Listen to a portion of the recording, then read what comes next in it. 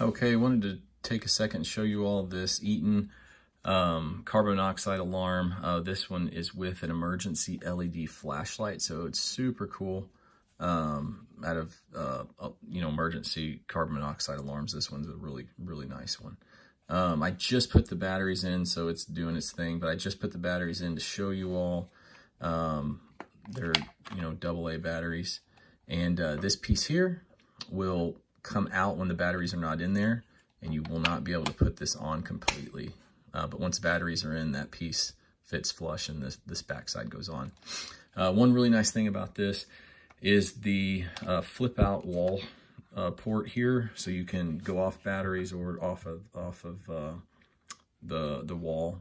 Um, so, but if your power goes out, you know, you got the batteries in there and it's still working for you. So um, just overall excellent, excellent um, carbon monoxide alarm. Uh, I've been happy with it so far. They sent this to me to check out and I'm really happy with it. I've used several other ones in the past that do a good job, but this one is really cool. Lightweight.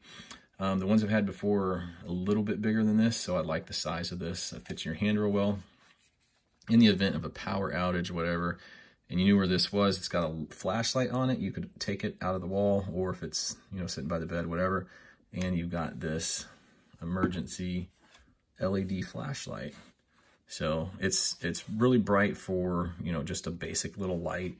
Um, it would get you out of the dark, um, you know, and just, just do normal flashlight job. But uh, it's really cool that they have that with uh, this detector. It's something unique. Uh, but overall, really good alarm. Uh, if you need to get one, definitely uh, everybody needs to have one of these in their house, a couple of them. Um, but this is one to check out for sure.